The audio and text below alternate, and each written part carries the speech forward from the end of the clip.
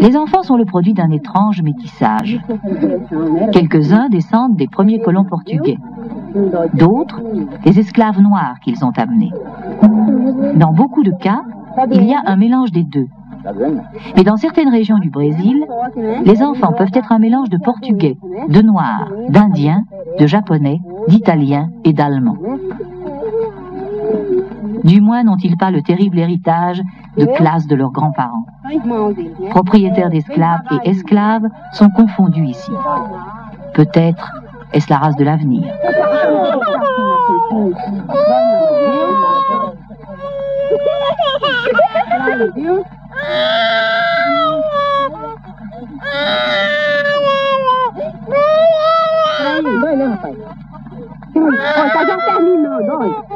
Não o seu braço, é pior. Não entra não, a agulha só em cima, viu?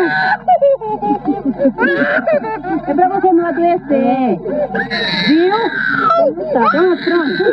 Pode, pode comer tudo. Acabou?